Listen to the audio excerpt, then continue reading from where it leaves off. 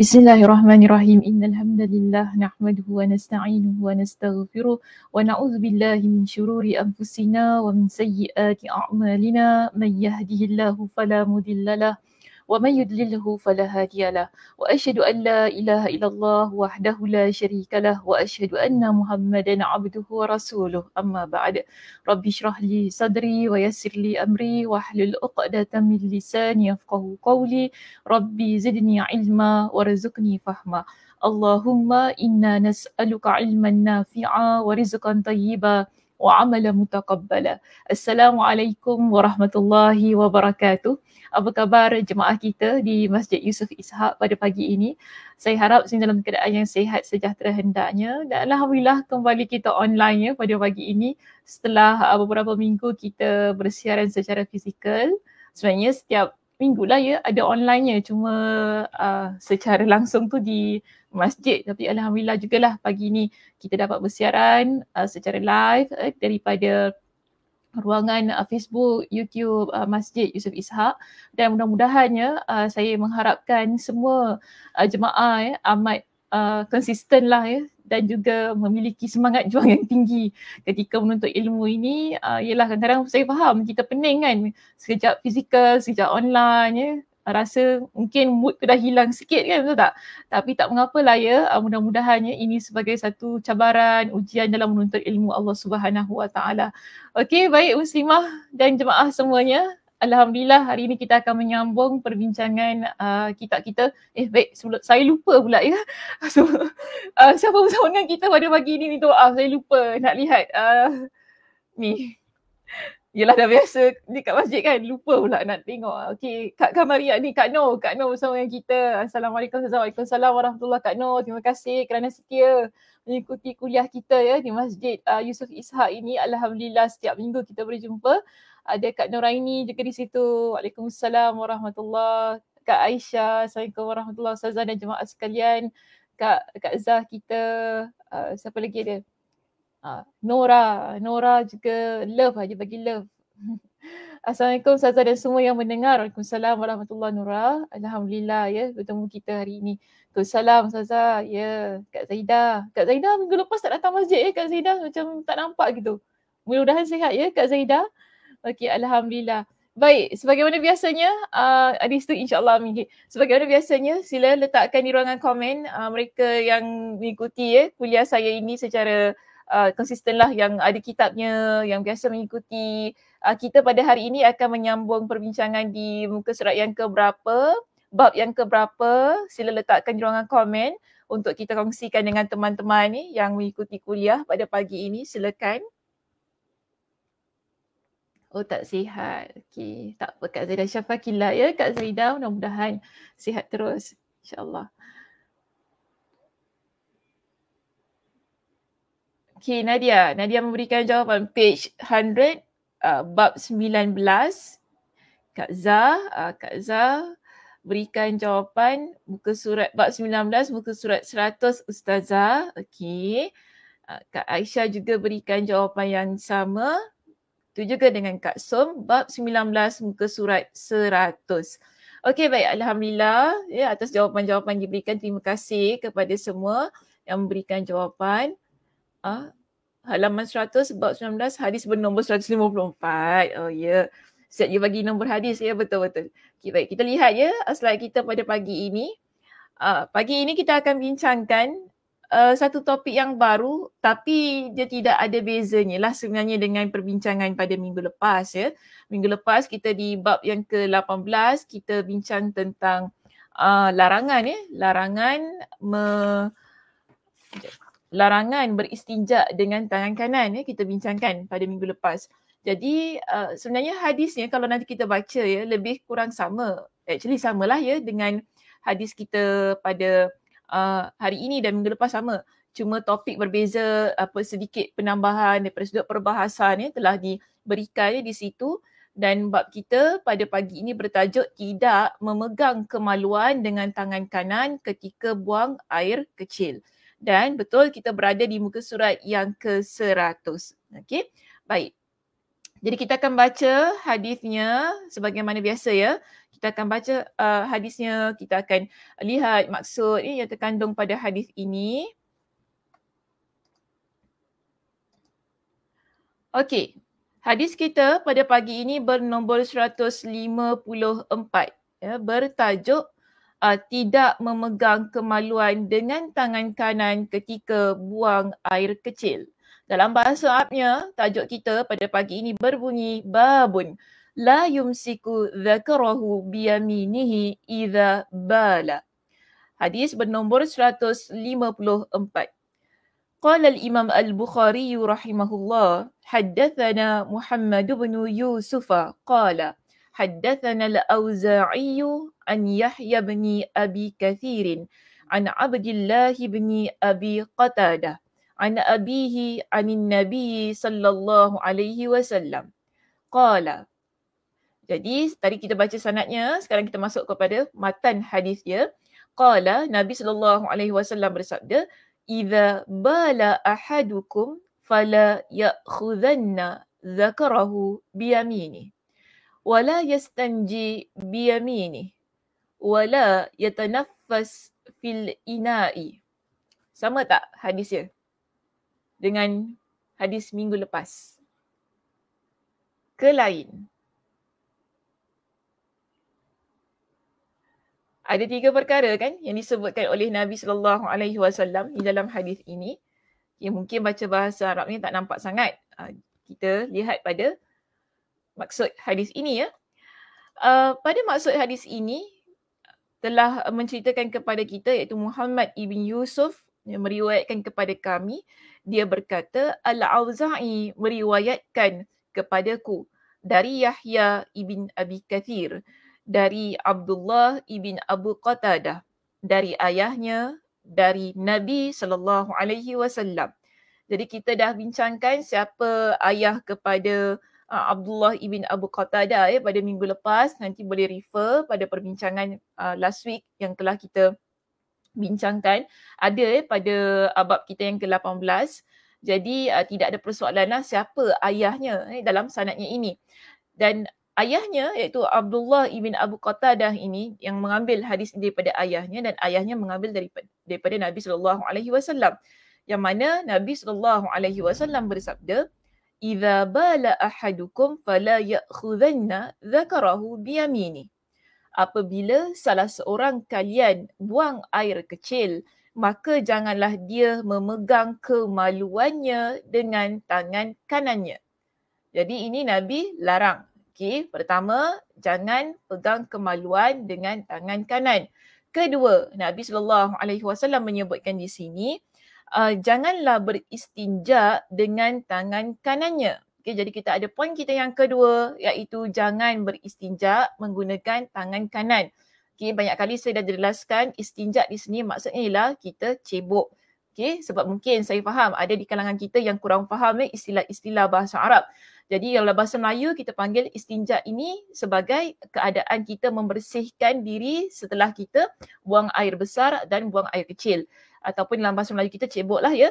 Baik, seterusnya di sini uh, dan jangan pula bernafas di dalam bejana. Jadi jangan pula bernafas di dalam bejana. Minggu lepas kita ada bincangkan sedikit eh, tentang hal tersebut. Jadi kita ada tiga points eh, di situ. Pertama, Nabi larang ketika kita ni salah seorang daripada kita di kalangan orang Islam, Muslimin uh, yang buang air kecil. Pertama Nabi pesan jangan pegang uh, kemaluan dengan tangan kanan. Kedua, Nabi juga ingatkan jangan kita beristinja menggunakan tangan kanan juga. Seterusnya yang ketiga, Nabi sallallahu alaihi wasallam uh, mengingatkan kepada kita jangan kita ni bernafas di dalam bejana. Itu dalam gelas, eh, dalam jug ke apa-apalah uh, ketika kita nak minum air. Jadi bagaimana? Adakah sama perbincangan atau ataupun had, isi kandungan hadis ini dengan uh, bab yang ke-18? Bagaimana? Sama ke tidak? Sila letakkan di ruangan komen. Sama, letak sama. Kalau tak sama, kata tak sama. Senang saja. Okey, sila letakkan di ruangan komen. Uh, adakah sama ataupun tidak? Ke tak ingat dah minggu lepas bincang tentang apa? Sama, okey. Kak Som kata sama. Um, ada perbezaan tak daripada sudut uh, hadis yang itu tadi? Lafaz ke apa-apa ke? Ada perbezaan ke tidak? Cuba saya berikan masa uh, refer kembali bab kita yang ke-18. Cuba lihat adakah di sana terdapat sebarang uh, perbezaan daripada sudut lafaz eh, ataupun uh, maksud isi kandungan pada hadis itu walaupun nampaknya sama. Ada tak perbezaannya?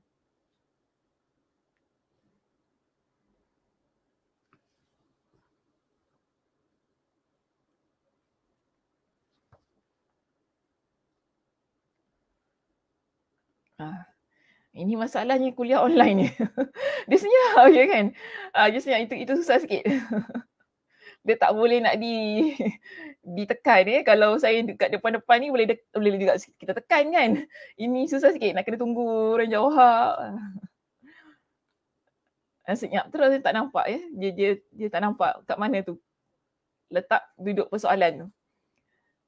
Okay, Kak Aisyah kata sama. Ya, yeah, saya tahu sama. Sama, betul sama. Uh, ada tak perbezaannya daripada sudut lafaz ke? Sama lafaznya? Lafaznya sama hadisnya?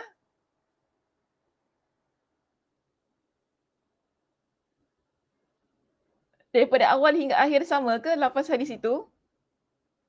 Sama juga ada perbezaan sedikit. Okay. Hadis minggu lepas, jangan bernafas dalam bejana first. Masya Allah, tabarakallah. Terima kasih Suzy di atas jawapan diberikan. Ah, itu yang saya nak dengar tu. Ya, ada perbezaan sedikit. Bila kita refer eh, pada hadis kita yang ke-18 itu, kita dapati uh, Nabi SAW menyebut berkenaan dengan larangan bernafas dalam bejana pada poin yang pertama.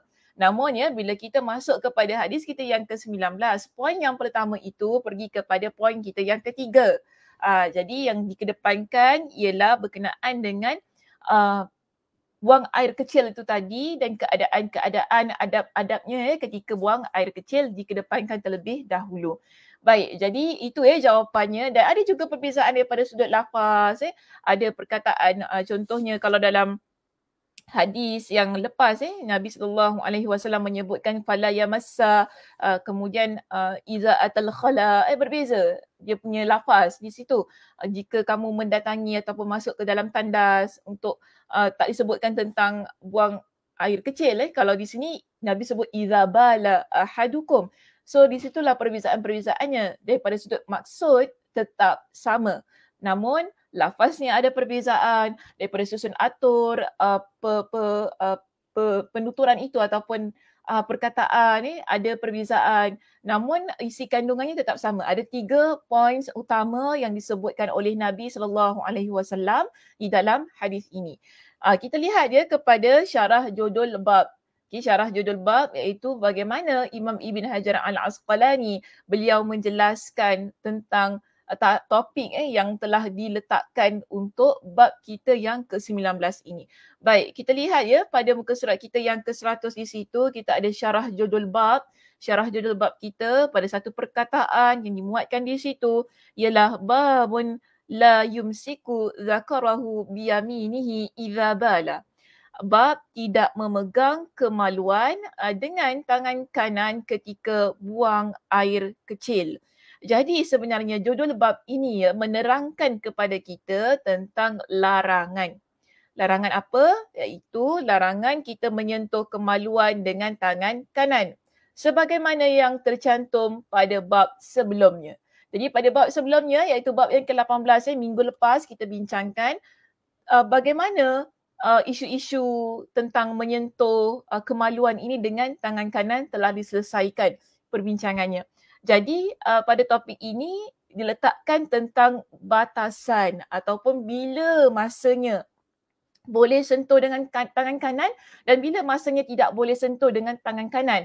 Uh, so ya, secara khususnya di sinilah ya perbincangan ingin ditampilkan iaitu tentang keadaan waktu uh, uh, keperluan ke, tentang menyentuh kemaluan ini dengan tangan kanan.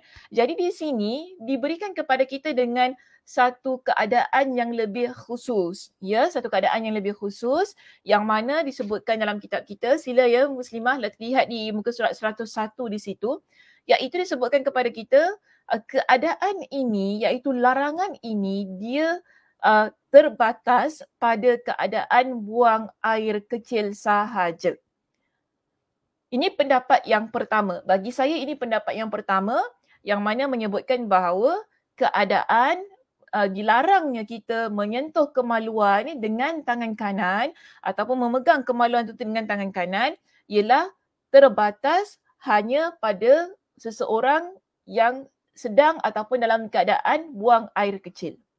Jika maknanya di sini, jika bukan dalam keadaan buang air kecil, maknanya kalaulah dia bukan dalam keadaan buang air kecil, maka hukumnya adalah boleh. Ini pendapat yang pertama.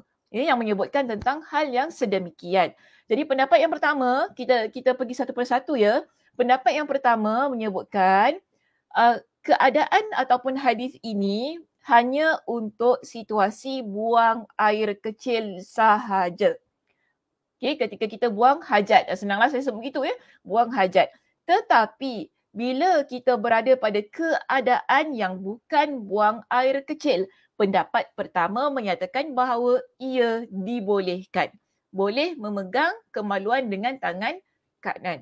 Baik, sementara itu eh, kita lihat di sini, ada juga sebahagian ulama yang berpendapat begini, bahawa memegang kemaluan dengan tangan kanan selain dalam keadaan buang air kecil lebih-lebih lagi terlarang. Pendapat kedua menyatakan sedemikian. Maknanya pendapat yang kedua tidak bersetuju dengan pendapat yang pertama. Sebab pendapat yang pertama memberikan dua keadaan tadi. Betul tak? Okey, satu keadaan masa buang air kecil tak boleh. Tapi bila kita tak buang air kecil, boleh pegang eh, kemaluan dengan tangan kanan. Masuk kepada pendapat yang kedua, di mana sebahagian ulama menyatakan bahawa di sini kalau uh, selain pada keadaan yang tidak buang air kecil lebih-lebih lagi tidak dibolehkan. Ha, ini pendapat yang kedua. Maknanya dia kata sama ada buang air kecil ke ataupun tak buang air kecil ke, kedua-dua keadaan itu tetap tidak dibenarkan untuk memegang kemaluan dengan tangan kanan. Jadi sebab secara logiknya okay, dia berikan dengan kita sebab satu uh, sebablah ya alasan kenapa pendapat kedua ini uh, disebutkan sedemikian. Dia kata sebab jika seseorang yang sedang buang air kecil sahaja dilarang. Okay, kalau orang dalam buang dalam keadaan buang air kecil saja uh, dilarang untuk sentuh kemaluannya, Padahal dia sebenarnya perlu untuk memegangnya. Padahal ketika kita buang air kecil ni, uh, kita perlu untuk pegang kemaluan tu kan untuk bersihkan dan sebagainya. Dalam keadaan itu dilarang, bagi pendapat yang kedua ni mengatakan maka tentunya memegang pada kondisi keadaan lain selain itu lebih lagi dilarang. Dan maksudnya begini, dalam keadaan yang memerlukannya untuk seseorang memegang kemaluannya dengan tangan kanan itu dilarang, uh, dilarang apatah lagi maka di sini kalaulah tak diperlukan maka tak perlu juga untuk dipegang dengan tangan kanan. Uh, ini maksud pada pendapat yang kedua. So senang kita nak faham begini.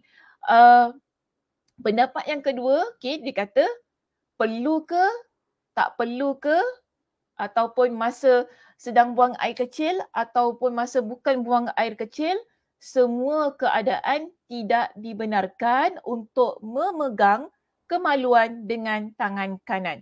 Namun, pendapat yang kedua ini disanggah. Ya, disangkal oleh Muhammad uh, Abu Muhammad Abu Hamzah sebagaimana yang telah ditampilkan oleh Imam Ibn Hajar Al-Asqalani dalam kitab kita ini. Ya, sila kita lihat kepada perenggan yang berikutnya bagaimana beliau uh, menampilkan pendapatnya berkenaan dengan sanggahan itu. Jadi dia kata begini, namun pendapat ini dibantah ya pendapat ini iaitu pendapat yang kedua tadi yang kata tak kira sama ada perlu ke tak perlu ke dalam keadaan buang air kecil ataupun tidak buang air kecil kedua-duanya itu tidak boleh untuk pegang kemaluan dengan tangan kanan. Jadi Abu Muhammad Abu Hamzah dia ni bantah ya pendapat itu. Kerana apa begini? Menurutnya keperluan seseorang untuk memegang kemaluannya tidak hanya terbatas ketika beristinja. Sebab tadi pendapat yang kedua kata keadaan yang kita amat perlu untuk pegang kemaluan dilarang uh, itu tadi kan dilarang pegang dengan tangan kanan apatah lagi dalam keadaan yang tidak memerlukan lebih-lebih lagi dilarang ini pendapat yang kedua tetapi Abu Muhammad kata begini kita ni perlu untuk pegang kemaluan tu tadi bukan hanya pada keadaan beristinja sahaja. Sebab ada keadaan-keadaan lain yang mana kita kadang-kadang perlu untuk pegang kemaluan tu. Ah, bukan waktu kita buang air kecil saja kita kena pegang kemaluan kan? Sebab ada keadaan-keadaan. Mungkin untuk kita bersihkan betul tak kita nak uh, cukur eh, bulu kemaluan itu kita perlu pegang. So itu keadaan-keadaan lah yang menuntut kita pegang kemaluan tersebut. Uh, jadi maknanya keperluan ini tak boleh difahami ketika hendak istinja sahaja ataupun ketika buang air kecil sahaja kerana di sana ada keadaan-keadaan lain yang mungkin memerlukan kita untuk memegang kemaluan itu tadi. Okay, so ini pendapat uh, Abu Muhammad tersebut. Maka dia kata ada pun penyebutan larangan dalam hadis ini sebatas ketika buang air kecil sahaja. Hal itu kerana hukum sesuatu perbuatan sama dengan hukum perbuatan yang mengiringinya. Jadi dia kata ketika diketahui hadis ini melarang beristinja dengan tangan kanan itu artinya menyentuh kemaluan dengan tangan kanan pun dilarang. Jadi di sini maksud uh, Abu uh, Muhammad kan dia bagi dia dia lebih prefer untuk pegang dengan pendapat yang pertama. Okey? Uh, dia lebih uh, lebih uh, cenderunglah untuk pegang dengan pendapat yang pertama kerana bagi dia hadis ini dia lebih khusus pada konteks buang air kecil sahaja tentang keadaan uh, larangan memegang kemaluan dengan tangan kanan uh, atau menyentuh kemaluan dengan tangan kanan. Kerana bagi dia kalau luar pada situasi itu keadaan-keadaan yang lain di situ Nabi tak sebut tentang uh, tentang keadaan keadaan yang uh, boleh menyebabkan seseorang itu maaf keadaan-keadaan yang tidak boleh menyebabkan seseorang memegang kemaluannya dengan tangan kanan. Uh, kerana ada keadaan-keadaan lain yang mereka juga perlu eh untuk memegang kemaluan tersebut. Mungkin memerlukan tangan kanan untuk memegang uh, memegang ataupun menyentuh dalam keadaan membersihkan dan sebagainya jadi bila dia baca hadis ini bagi dia pendapat ini hanya untuk keadaan buang air kecil sahaja okey uh, so itu itu pendapat dia lah jadi bila kita masuk kepada perenggan yang berikutnya, dia jelaskan kenapa dia berpendapat begitu. Kemudian Abu Muhammad bin Abu Hamzah dia jelaskannya bahawa menyentuh kemaluan dengan tangan kanan itu dibolehkan berdasarkan jawapan Rasulullah sallallahu alaihi wasallam kepada Talq bin Ali. Jadi ada uh, seorang ini yang bernama Talq bin Ali. Dia jumpa dengan Nabi. Dia tanya kepada Nabi, ketika dia bertanya kepada beliau eh, tentang hukum menyentuh kemaluannya. Jadi dia tanya kepada Nabi, uh, apa hukum dia sentuh kemaluan dia? Dan Nabi SAW di dalamnya hadis ini Nabi kata innama huwa bada'atun minka. Sesungguhnya kemaluan itu juga bahagian dari anggota tubuhmu. Uh, kemaluan anggota tubuh badan kita kan? Yang boleh kita pegang yang boleh kita sentuh. Uh, jadi dalam keadaan yang begitu tidak jadi masalah lah ini pendapat Abu Hamzah ya tidak masalah untuk menyentuh kemaluan tersebut dengan tangan kanan ketika okay, ketika di luar keadaan ataupun luar situasi uh, buang air kecil. Sebab tu tadi dia kata konteks hadis ini hanya sesuai ya untuk ketika seseorang buang air kecil berikutan dengan apa yang Nabi sallallahu alaihi wasallam sebutkan. Sebab dalam hadis Nabi kata apa? Idza bala ahadukum. Jika salah seorang daripada kalian buang air kecil. Dan juga ya ketika kita baca pada hadis minggu lepas. Hadis minggu lepas sebut Nabi sebut apa? Idza atal khalaa jika seseorang dia masuk tandas untuk buang air kecil jadi sebab itu di sini di kalangan para ulama ada yang menyatakan keadaan ini hanya khusus untuk situasi buang air kecil sahaja. Maknanya barulah pada waktu itu uh, larangan memegang kemaluan dengan tangan kanan diaplikasikan.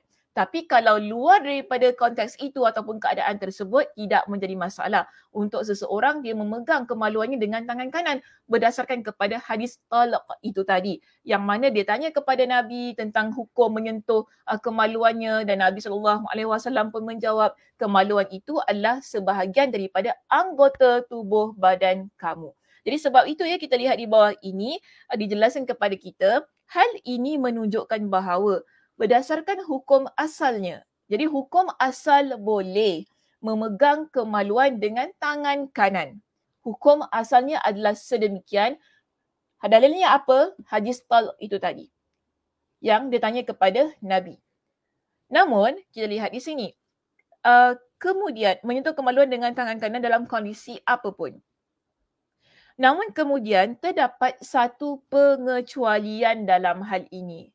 Jadi hukum asalnya boleh untuk seseorang itu dia menyentuh, memegang kemaluannya dengan tangan kanannya dalam kondisi apa pun. Okay. Tapi kemudiannya datanglah pengecualian terhadap hal ini iaitu ketika sedang buang air kecil sebagaimana kedua-dua buah hadis yang telah kita baca dalam bab yang ke-18 minggu lepas dan juga bab kita yang ke-19 pada pagi ini.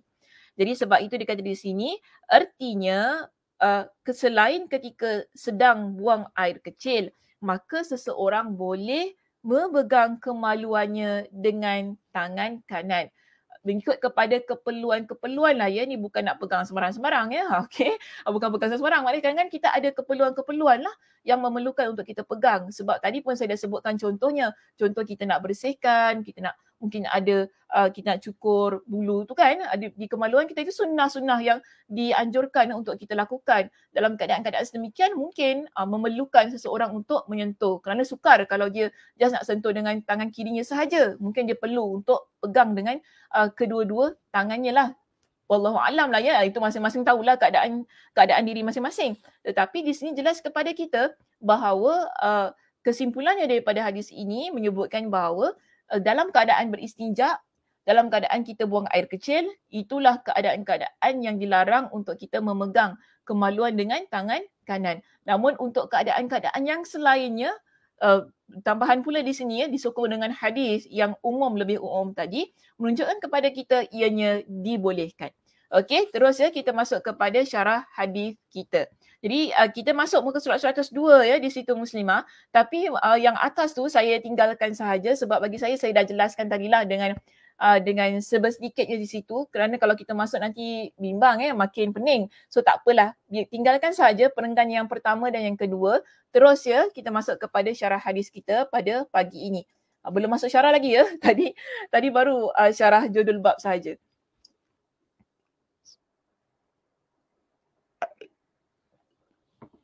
Okey baik, kita lihat kepada syarah hadis kita. Terus ya cari pada perkataan fala ya'khudhanna. Ada kan nama perawi di situ seorang uh, muhaddathana Muhammad bin Yusuf tak apa tinggalkan. Okey, tinggalkan perkataan itu. Terus masuk kepada perkataan yang kedua dalam kitab kita.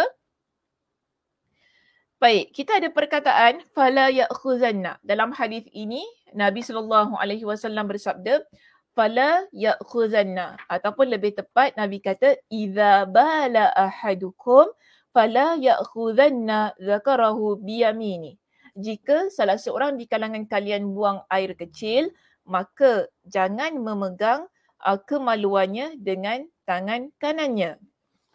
Di sini kita lihat uh, ada riwayat daripada Abu Dhar Okay, ini adalah riwayat Abu Dhar yang mana menyebutkan dengan nun taukid. Demikian yang tercantum dalam riwayat Abu Dhar. Ini riwayat uh, uh, siapa ni Abu Qatada eh? Ini riwayat Abu Qatada. Dan di sana terdapat riwayat lain daripada Abu Dhar yang menyebutkan perkataan ini iaitu fala ya'khudhanna dengan nun taukid. Nun taukid tu maksudnya ialah nun yang bersabdu tu kan nun yang bersabdu tu. Uh, saya sebenarnya ada gariskan lah perkataan nun tu kan tak tahu nampak ke tidak. Uh, mungkin kalau nanti uh, lihat slide saya selepas kuliah ni dapat dibesarkan uh, nampak lah ya saya letakkan garis eh pada nun yang bersabdu untuk menunjukkan ini adalah nun taukid. Nun taukid ni maksudnya nun yang diletakkan pada satu perbuatan ya untuk menguatkan uh, suruhan untuk menguatkan statement tersebut, uh, ni kita panggil sebagai uh, taukid lah untuk takkidkan, untuk menguatkan arahan ataupun suruhan tersebut. Tetapi ada juga dalam riwayat yang lain ya tidak uh, menyebutkan nun taukid. Jadi perkataan ini kalau dia tidak ada nun taukid, kita baca fala ya'khudha. Ha, kan beza ya, fala ya'khudha. Uh, dia tidak memegang. Uh, so di situ ada eh, tersebut dalam uh, riwayat uh, riwayat yang lain lah cuma dia tak kata eh, riwayat yang mana. Dan juga kita lihat eh riwayat dengan lafaz fala ya'khudhanna ini sesuai dengan judul yang dijantumkan oleh Al-Bukhari iaitu la yumsik. Dan lafaz seperti ini yang sama juga tercantum dalam riwayat Muslim iaitu pada riwayat Hamam dari Yahya. Kita apalah. Ini uh, penerangan yang bagi saya tak berapa complicated lagi. So okay lah. Tinggalkan saja ya. Baik, seterusnya kita ada uh, di situ ya di muka surat 103. Terus ya lihat pada perenggan kita yang kedua. Masuk terus pada perenggan yang kedua sebahagian ulama menyimpulkan dari hadis itu. Ha, yang perenggan yang pertama tu saya tak nak masuk, uh, biarkan saja perenggan yang pertama di situ. Terus masuk kepada perenggan yang kedua tentang uh, penerangan para ulama berkenaan dengan uh, larangan ini. Okey. Jadi sebahagian uh, para ulama mereka memberikan kesimpulannya pada larangan yang terkandung di dalam hadis ini yang mana mereka menyatakan bahawa larangan beristinja dengan tangan kanan. Okay, statement ini ataupun uh, poin ini terdapat pada uh, perengan kita yang kedua. Ya. Sebahagian ulama menyimpulkan dari hadis itu bahawa larangan beristinja dengan tangan kanan yang di jarinya terdapat cincin bertuliskan nama Allah Subhanahu Wa Taala. Uh, ini uh, ini pendapat mereka lah ya. Okay, uh, ini pendapat mereka. Jadi mereka kata sebab tangan kanan ni kita pakai cincin kan. Jadi mungkin kemungkinan ada orang yang mereka ini pakai cincin dan cincin itu ada uh, terukir nama Allah pada cincin tersebut. Uh, yang mana mereka juga memberikan alasan di sini ya. Kerana salah satu alasan larangan memegang kemaluan dengan tangan kanan adalah sebagai bentuk penghormatan bagi tangan kanan. Ha, jadi mereka berikan alasan juga di situ kenapa dilarang memegang kemaluan dengan tangan kanan ialah sebagai satu bentuk penghormatan untuk tangan kanan ini kerana tangan kanan biasanya kita buat perkara-perkara yang baik. Kan? Ha, kita buat perkara-perkara yang baik, yang bersih, benda-benda yang yang baguslah ya. Tapi ada orang tangan kidal kan betul tak? Ah, so kita tak katalah tangan dia tak baik, bukan begitu. Cuma ini apa yang dilihat secara umum, eh, kebiasaannya. Yang berlaku eh, pada manusia ini, bila mereka ni guna tangan kanan, ia untuk perkara-perkara yang baik dan ia bentuk satu penghormatan yang Allah Subhanahu Wa Taala ataupun yang bagi mereka uh, diberikan dalam nas ini untuk tangan kanan tersebut. Jadi sebab itu dikatakan dalam kitab kita ini dengan demikian akan lebih terlarang lagi apabila di tangan yang digunakan untuk beristinja terdapat cincin yang bertuliskan nama Allah. Dan kebiasaannya lah ya uh, orang ni memakai cincin pada tangan kanan. Jadi uh, bila tangan kanan itu dia ada dia sarungkan cincin yang uh, terbentuk ataupun cincin yang di di uh, diukir ya dengan uh, ungkapan kata nama Allah dan sebagainya, maka lebih-lebih lagi lah ianya dilarang. Uh, sebab satu, nak berikan penghormatan kepada tangan kanan, yang mana tangan kanan ni selalu kita buat perkara-perkara yang baik. Uh, antaranya juga uh, tangan kanan ini kita biasa pakai cincin kan. Jadi bimbang ya, ada orang mungkin mereka ini mengenakan cincin tersebut di tangan kanan yang mana pula cincin itu ada terukir ataupun ada terletak eh nama Allah Subhanahu Wa Taala.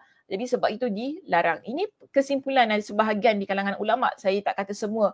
Sebab dalam kitab pun kata ia adalah sebahagian. Maknanya ini bukan pendapat majority. Cuma sengajalah diletakkan ya sebagai satu mungkin satu alasan yang boleh uh, untuk kita relatekanlah kenapa larangan itu uh, ada dalam hadis ini.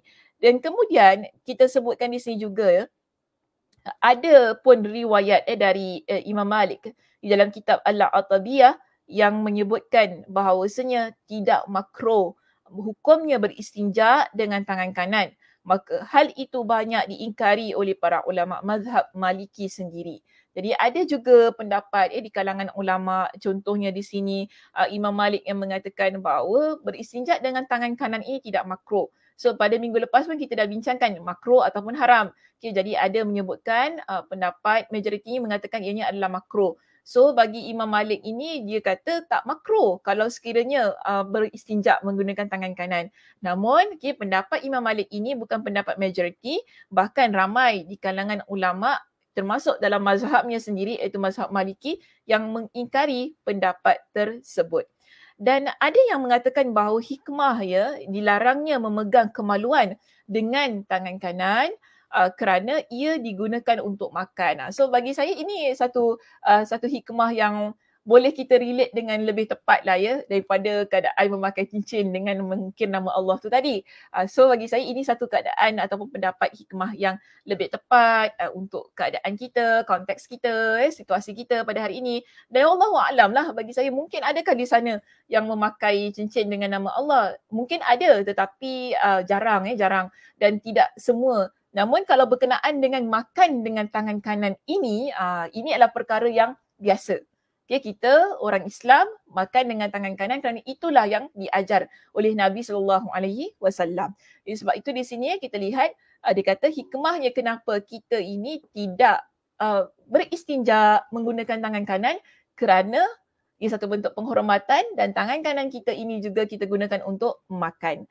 Jadi dia katakan di sini jika seseorang memegang kemaluannya dengan tangan kanan lantas dia teringat hal itu ketika sedang makan. Tadi pergi toilet. Di toilet kan tadi. Kemudian uh, istinja dengan tangan kanan. Tengah-tengah makan ni terfikir, eh tadi makan dengan tangan ni ya, uh, macam rasa geli kan. Uh, so pandai-pandai lah ya fikir sendiri. Cuba imagine lah keadaan itu kita tadi pergi toilet, kemudian mungkin kita buang air besar ke, kita buang air kecil, kita cuci uh, tempat kemaluan kita ni dengan tangan kanan kita. Dan dengan tangan yang sama juga, kemudian kita makan, makan nasi, ya, guna tangan yang sama. Walaupun kita kata kita dah bersihkan lah, Allah dah bersihkan lah, sozo, bersih, bersih dengan sabun semua kan, dah pakai uh, sanitizer semua kan, dah bersih dah, tak ada kuman. Ya, tapi cuba mungkin kita tiba-tiba tengah makan tu, kita ter, teringat tadi uh, cibuk guna tangan ni macam geli. Uh, dia dia ada perasaan yang sedemikian. So ini pendapatlah di kalangan ulama ini yang mengatakan jika seseorang memegang kemaluannya dengan tangan kanan lantas dia teringat hal itu ketika sedang makan, maka nescaya itu akan membuatnya rasa jijik terhadap makanan tersebut. Uh, jadi ini keadaan-keadaan eh, yang mana para ulama cubalah uh, mencari hikmah mengapa larangan ini diletakkan ataupun diterapkan ni dalam agama kita uh, tentang situasi-situasi yang mungkin uh, boleh di uh, boleh di inilah boleh difikirkan uh, bersama. Mungkinlah keadaan segitu. Sebab tu dia kata wallahu alam ya. Wallahu alam tentang hal ini. Baik terus ya kita pergi kepada perkataan kita yang terakhir pada pagi ini iaitu kita lihat di situ perkataan wala yatanaffas fil ina'i. Okey wala yatanaffas fil ina'i.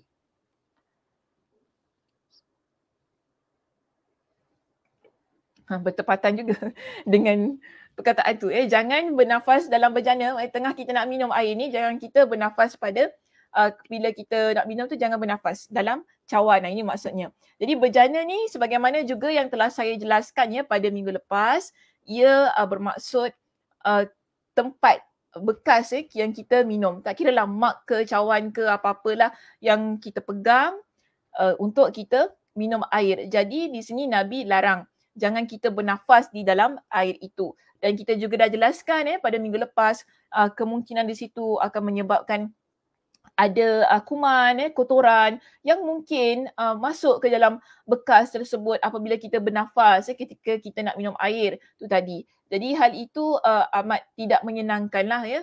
Uh, dan ia boleh mungkin memudaratkan orang lain. Mungkin kita sakit, ya kita tak tahu kita ada penyakit. Tapi kemudian bila kita ni ambil cawan tu, kita uh, tiup ke, kita bernafas ke dalam cawan tersebut, kemungkinan uh, ia boleh buat spread lah ataupun uh, virus tu penyakit tersebut boleh tersebar pada orang lain dan sebagainya. Jadi sebab itu Nabi sallallahu alaihi wasallam menyebutkan larangan ini. Baik, dan kita lihat ya uh, kaitan uh, perbincangan ini memiliki hukum yang tersendiri. Uh, dijelaskan dalam poin kita di situ, uh, kita tak kaitkan uh, buang air kecil eh, dengan minum air di sini. Ia adalah dua keadaan yang berbeza. Walaupun kita, tadi kita sebutkan dua poin yang pertama, okay, dua poin yang pertama, ia lebih uh, kepada keadaan yang khusus eh, iaitu buang air kecil. Tapi adakah minum air bernafas, larangan bernafas uh, dalam uh, dalam bejana ini ataupun dalam cawan memiliki kaitan dengan uh, keadaan kita buang air kecil sehingga Nabi sallallahu alaihi wasallam memuatkannya dalam satu hadis kan? Ah okey. So kita lihat ya pada penerangan di sini sila lihat pada uh, perenggan yang sama okey perenggan yang sama tetapi pada uh, baris yang ketiga terakhir. Okey baris yang ketiga terakhir sebab saya nak mulakan perbincangan daripada situ. Kita lihat di sini ya uh, kondisi ketika seseorang bernafas tidak berkaitan dengan kondisi ketika buang air kecil jadi tidak ada kaitan. Maknanya kita dah selesai ya bincangkan tentang orang uh, yang tentang maaf tentang larangan menyentuh kemaluan dengan tangan kanan ataupun beristinja dengan tangan kanan yang mana ianya berada pada satu keadaan ataupun konteks ketika seseorang buang air kecil. Okey, kita dah selesai ya bincangkan tentang hal itu. Bila masuk kepada poin kita yang ketiga iaitu larangan bernafas di dalam bejana ini sudah tidak ada lagi kaitan dengan dua poin yang terdahulu. Jadi sebab tu tadi dia kata kondisi ini berbeza, tidak ada kaitan antara satu dan yang lain. Jadi bernafas memiliki hukum yang tersendiri dan buang air kecil pun memiliki hukum yang tersendiri. Uh, namun di sini uh, di biasalah ya di kalangan para ulama ini ketika mereka mencarahkan hadis mereka akan usaha untuk melihat di mana sudut hikmahnya. Mengapa uh, keadaan ini digabungkan eh, dengan keadaan buang air kecil? Sedangkan kita tahu minum air ni dengan buang air kecil ada dua keadaan yang berbeza dan kita tak minum air di tandas. Betul tak? Uh, itu keadaannya. Namun para ulama masya-Allah barakallah mereka berusaha uh, untuk memberikan kepada kita dengan hikmah ataupun apakah relevannya eh? Mengapa keadaan ini mungkin eh? Nabi sallallahu alaihi wasallam sebutkan sehingga Nabi gabungkan. Uh, Nabi gabungkan dalam satu hadis. Baik kita lihat di sini. Pada muka surat kita yang terakhir iaitu muka surat 104 ya di situ pada perenggan yang atas sekali uh, dijelaskan kepada kita terdapat kemungkinan hikmah. Uh, ada hikmahnya tapi hikmah ini pun disebutkan sebagai kemungkinan. Bila kita kata kemungkinan maknanya ia bukan sesuatu yang pasti, tak confirm lah eh, benda itu. Tapi mungkin, eh, mungkin. Mungkin di sini dia kata hikmah penyebutan masalah bernafas di dalam uh, bejana ataupun dalam bekas eh, cawan yang kita minum ini bersamaan dengan perkara-perkara sebelumnya. Perkara-perkara sebelumnya apa tadi? Pertama, uh, memegang larangan memegang kemaluan dengan tangan kanan. Kedua ialah larangan eh beristinja menggunakan tangan kanan. Jadi kenapa diletakkan uh, bergandingan dengan dua keadaan itu tadi dan di sini kata kemungkinan hikmah penyebutan masalah bernafas di dalam berjana bersamaan dengan perkara-perkara sebelumnya kerana akhlak kaum mukminin adalah senantiasa meneladani perbuatan Nabi sallallahu alaihi wasallam. Jadi kita ni uh, satu keadaan yang kita dituntut ya sebagai seorang muslim ialah untuk mengikut setiap apa yang Nabi sallallahu alaihi wasallam tunjukkan kepada kita. Ini sunnah yang kita ikut sehingga dalam keadaan kita uh, buang air kecil itu pun tadi kan diberikan kepada kita dengan guide lines kan? Ah, dengan dengan satu uh, garis panduan supaya kita ini contohi bagaimana ataupun apa yang diajarkan oleh Nabi sallallahu alaihi wasallam. Dan kita dapati uh, Nabi sallallahu alaihi wasallam eh ketika baginda buang air kecil uh, baginda biasanya mengiringinya dengan berwuduk. Jadi kebiasaannya Nabi bila setelah Nabi buang air kecil ni Nabi akan berwuduk dan kita tahu pada waktu itu tak macam kita sekarang ini. Kita berwuduk ataupun kita istinja ni menggunakan paip kan. Paip tu airnya uh, jalan je gitu kan. So pada waktu Nabi, konteks Nabi itu dan kita dah bincangkan bila Nabi pergi tandas, Nabi berwuduk, ada air yang disiapkan dalam bejana. Betul tak? Kita ada discusskan tentang hadis itu. Bila Nabi SAW masuk tandas ataupun Nabi nak berwuduk, kebiasaannya ada orang yang akan siapkan air. Dan antaranya Anas lah ya, kita dah bincangkan tentang hal itu. Akan Nabi SAW akan siapkan disiapkan air yang mana air itu diletakkan dalam bekas. Okey, dalam bekas tersebut. Jadi, bila Nabi SAW selesai uh, buang air kecil, Nabi akan berwuduk. Okey, dengan air itu. Dan bahkan ada uh, disebutkan dalam satu riwayat iaitu Nabi SAW pernah minum sisa air wuduknya. Uh, jadi ada keadaan, ada keadaan iaitu ada riwayat yang menyebutkan setelah Nabi uh, buang air kecil, Nabi berwuduk kan dengan air yang terdapat dalam bejana itu. Jadi ada bekas maknanya ada uh, baki, ya, ada air lagi dekat dalam bejana ini. Ada riwayat yang menunjukkan bahawa Nabi minum air yang terdapat di dalam bejana tersebut.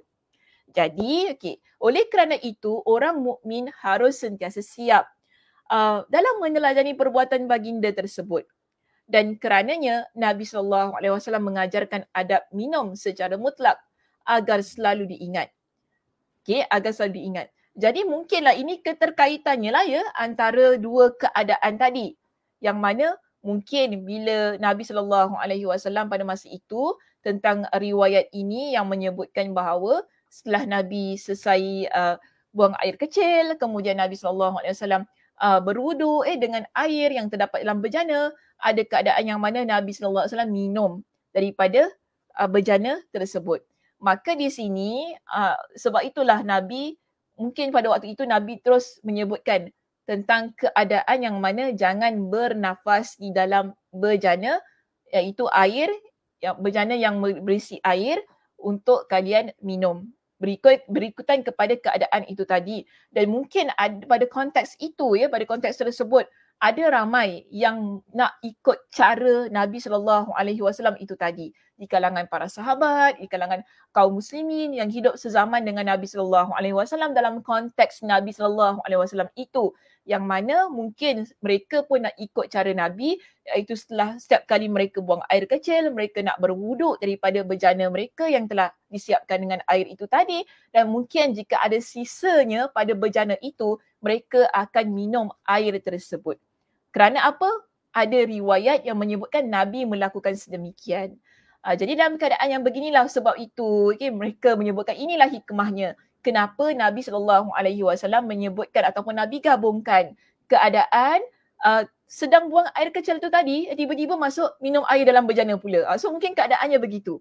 Ya, uh, ini yang cubalah mereka letakkan hikmahnya lah mengapa digabungkan uh, ketiga-tiga points ini. Namun kalau untuk konteks kita pada hari ini ya jemaah kita lihat begini. Janganlah pula eh, kita pergi minum uh, air tu kan sebab kita tak guna berjana. Dalam keadaan kita, majoriti kita ataupun keseluruhan eh, uh, konteks kita pada hari ini kita tak gunakan berjana ketika kita berwuduk. Betul tak? Kita kebiasaannya kita guna paip. Jadi dalam keadaan begitu tak perlulah uh, kita pergi minum air tu. Okay? Maknanya di sini kita apply konteksnya ketika kita minum air dalam cawan. Uh, okay, kita minum air dalam cawan ataupun kita buat air dekat jug ke apa kan. Jangan kita dah kocok, kita dah kocok-kocok. Kita dah apa ni, uh, kacau air tu kan kita tiup kan. Uh, ini keadaan-keadaan yang mana kita boleh apply lah untuk konteks kita hari ini. Keadaan yang berbeza. Namun uh, kenapa juga masih lagi lah eh, di kalangan para ulama ini mereka nak memberikan kepada kita dengan hikmah, uh, penyebutan, larangan bernafas tu tadi uh, supaya kita boleh relate lah kenapa Nabi SAW tiba-tiba sebut jangan bernafas dalam air yang berisi bejana. Mungkin keadaannya begitu. Baik, seterusnya kita lihat di sini ada punya larangan bernafas di dalam bejana ini berlaku khusus ketika sedang minum. Hal ini sebagaimana dibuktikan dalam konteks riwayat sebelumnya. Dan kita juga ada satu ada satu uh, riwayat daripada Al-Hakim yang mana menyebutkannya sebagai satu bukti dari hadis Abu Hurairah disebutkan kepada kita tentang keadaan bahawa tiup itu berlaku ketika uh, untuk bejana yang nak dibuat minum. La yatanaffas ahadukum fil ina'i idza kana yashrabu minhu. Itu janganlah salah seorang di antara kalian bernafas di dalam bejana ketika dia sedang minum darinya.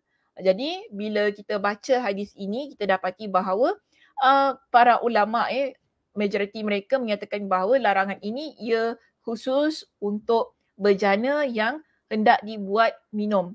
Jadi tak boleh uh, kita bernafas ataupun tiup-tiup lah ya pada tempat itu uh, kemungkinan nanti akan menyebabkan um, benda yang uh, kotor ya akan hinggap pada cawan ataupun pada air itu dan kita minum air tersebut.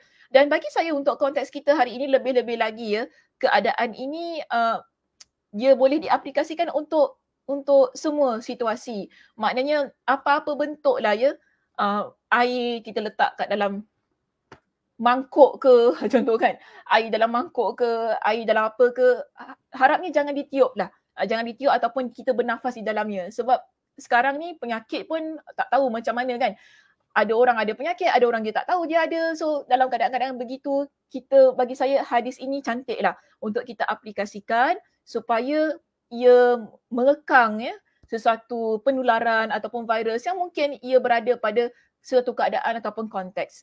Jadi uh, tak semestinya ketika kita minum sahaja Namun untuk keadaan-keadaan yang lain mungkin orang ada mungkin ada setengah masjid yang ada kolah eh contoh kan. Uh, janganlah kita bernafas-nafas dekat tempat air tu kan masukkan muka kat kepala uh, masukkan kepala kat dalam dalam air kan uh, menyebabkan tercemar air tersebut. Uh, jadi keadaan begini nampaknya kita lihat ia lebih umum eh situasinya lebih umum untuk menjaga ataupun uh, mengekang eh sesuatu penularan uh, wabak eh, yang berlaku pada konteks konteks yang tertentu. Okey, uh, muslimah itu sahaja ya perbincangan kita untuk pagi ini. Wallahu a'lam bisawab. Mudah-mudahan ya ada uh, manfaatnya yang kita peroleh daripada perbincangan ini untuk bab kita yang ke-19. Yang penting tadi kita bincangkan tentang uh, keadaan-keadaan yang mana uh, boleh kita pegang kemaluan dengan tangan kanan uh, ataupun kita beristinja tadi kan dengan keadaan-keadaan yang begitu dan kita bincangkan juga ya pada uh, pagi ini tentang uh, mengapa berlakunya kaitan larangan uh, bernafas dalam bejana dengan dengan larangan memegang kemaluan dengan tangan kanan ketika uh, nak beristinja ataupun ketika buang air kecil. Di situ mungkin kita boleh nampak relevannya mengapa hal itu dimuatkan dalam satu hadis Nabi ataupun Nabi sallallahu alaihi wasallam sebutkan sekaligus eh ketika Nabi sallallahu alaihi wasallam menjelaskan keadaan ataupun adab seseorang dia buang air kecil. Eh, bagaimana keadaan dia beristinja, guna tangan apa dan sebagainya. Ah, dan di situ kita nampak dalam hadis ini Nabi sallallahu alaihi wasallam sebenarnya mengajarkan kepada kita dengan adab yang masya-Allah tabarakallah lah ya. Yang semua kita bila kita fikirkan hal-hal ini adalah perkara yang baiklah. Contoh tadi kan kenapa kita tak uh, beristinja dengan tangan kanan? Sebab tangan kanan kita makan menggunakan tangan kanan. Betul tak? Jadi macam kotor lah. Bila kita fikir balik kan, eh macam geli lah gitu kan. Geli, jijik. Tadi pun uh, disebutkan perkataannya jijik. Kalau kita fikirkan semula, uh, tadi dah cebok dengan tangan kanan, tiba-tiba nak makan dengan tangan yang sama, rasa macam tak berapa nak berselera di situ kan. Maka terbaiknya dapat dibezakan.